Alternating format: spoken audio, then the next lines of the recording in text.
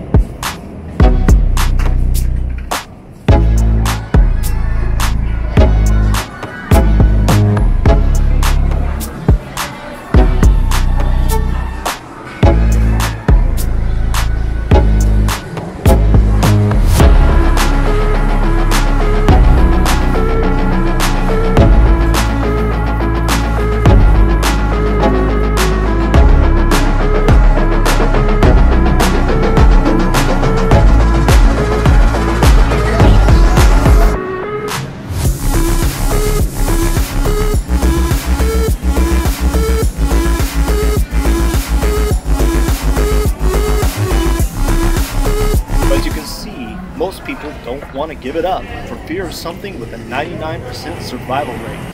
Even though I'm not saying some people didn't get sick, these same people you see walking around are the ones that have been made a pincushion for the medical cartel. The thing that it shows me is that these people are full of fear.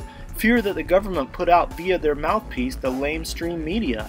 And it's sad that people continue to fall for manufactured fear and not critical think and dare to go outside the crowd mind. And the worst part is, the kids at our school still have to mask up, the least likely to be affected by all this.